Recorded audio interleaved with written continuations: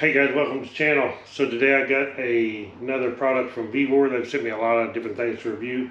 This here is an aluminum toolbox. And basically this aluminum toolbox is made to mount under the side of like a flatbed truck or trailer or something like that. Uh, it's made to mount under. Uh, you can also use this in the bed of a truck and that's the reason I got it for the Gladiator. I measured it and I wanted something that would fit in the back of the Gladiator but still be able to close the tonneau cover. And this one is the closest thing they had, and it barely fits, but I think it's going to fit by the measurement. I believe it's going to fit. So let's take this thing out of the box Let's see what it looks like and see how it fits in the truck.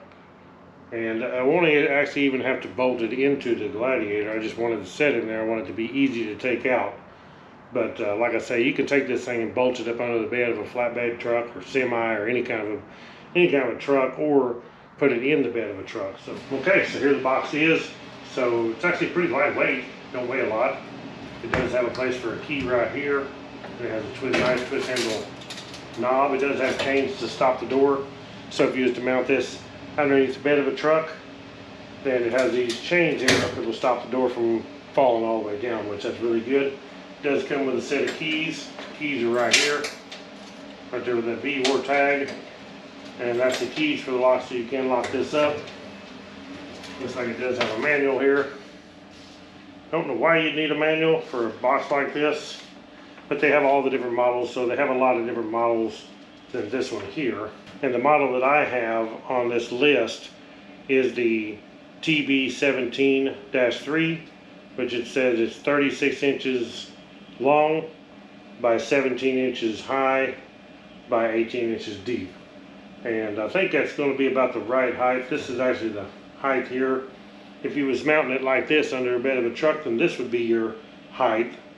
But I'm going to flip it up so it opens up to the top because the way this thing is designed, let me turn it around here and show you.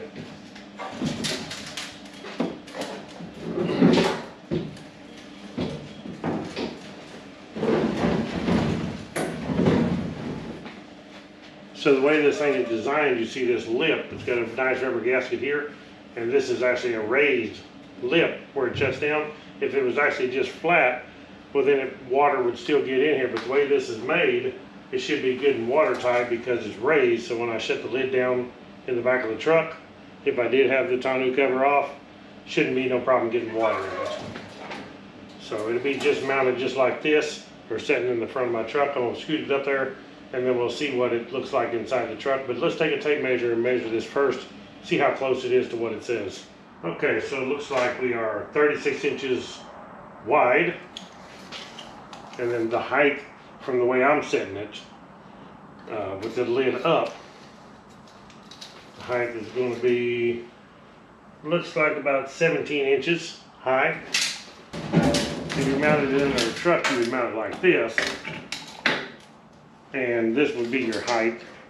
So it's 18 inches high this way the way I'm mounting it is different.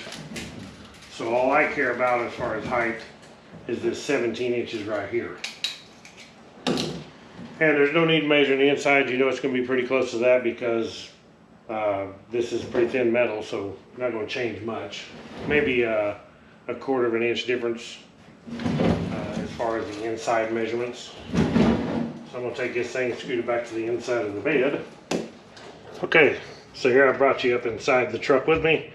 Got it sitting in here where I want it. Should be able to just open this top now, just like so. I want to set it back far enough that my this door is not going to be hitting my tonneau cover. And that's going to work pretty darn slick.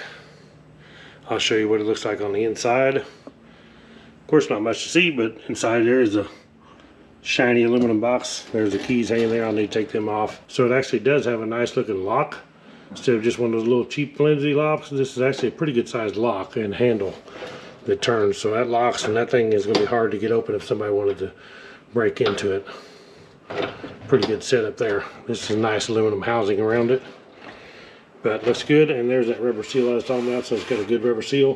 When you close this thing down and you latch it fold the handle shut it seals tight. This is our lock of course. Just pull that cap off.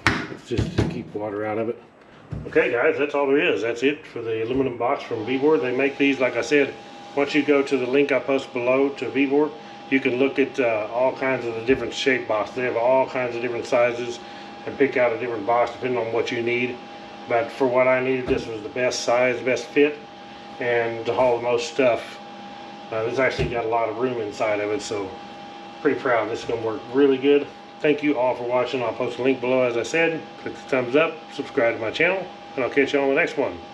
Right on.